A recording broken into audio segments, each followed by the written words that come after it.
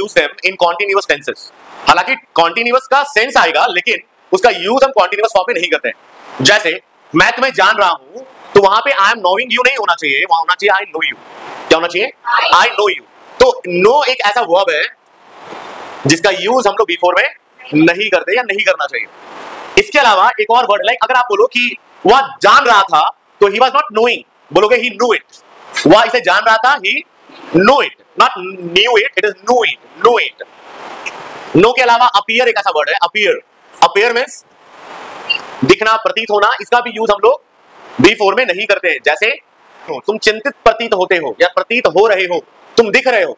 Appear means दिखना होता है। इसी का एक और वर्ड है सीम सीम तो सीम और अपियर का यूज़ हम लोग नहीं करते हैं बी फोर में। लाइक यू आर सीमिंग नहीं बोलना। बोलना होगा you seem you are appearing angry नहीं बोलना। बोलना यू अपियर एंग्री और you appear to be angry right he seems to be smart are getting now उसी तरीके से और भी वर्ब्स हैं लाइक थिंक थिंक का भी यूज़ हम लोग बिफोर में नहीं करते। मैं सोच रहा हूँ कि मैं दिल्ली चला जाऊँ। आई एम थिंकिंग नहीं I think to go to Delhi right in the same manner want want का भी यूज़ हम लोग बिफोर में नहीं करते हैं। आप नहीं बोलना I am wanting a book आप बोलोगे आई वांट अ बुक वह चाह रहा था तुमसे मिलना। तो he was wanting to meet you नहीं बोलना। क्या बोलोगे? He wanted to meet you right love को भी आप नहीं यूज़ करते हैं बिफोर में। फील uh, फील को भी यूज़ नहीं करते हैं बिफोर में।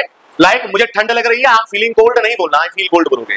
मुझे गर्मी लग रही है आई फील हॉट बोलोगे। आई फीलिंग हॉट नहीं बोलोगे। Right right? ऐसा ही एक वर्ब आप कमेंट कीजिए जिसका हम लोग बिफोर में यूज़ नहीं करते हैं।